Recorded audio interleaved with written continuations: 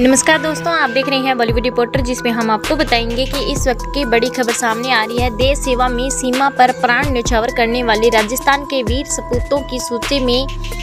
मंगलवार को एक बेटी का नाम भी शामिल हो गया झुंझुनू जिले के पिलानी की मेजर कविता मिल का सेना में ड्यूटी के दौरान निधन हो गया कि मंगलवार को उनके निधन की सूचना मिली जब बेटी के तिरंगे में लिपट कर घर लौटने की जानकारी गांव तक पहुंची तो पूरा इलाका मातम में पसर गया मेजर कविता राजौरी में सेना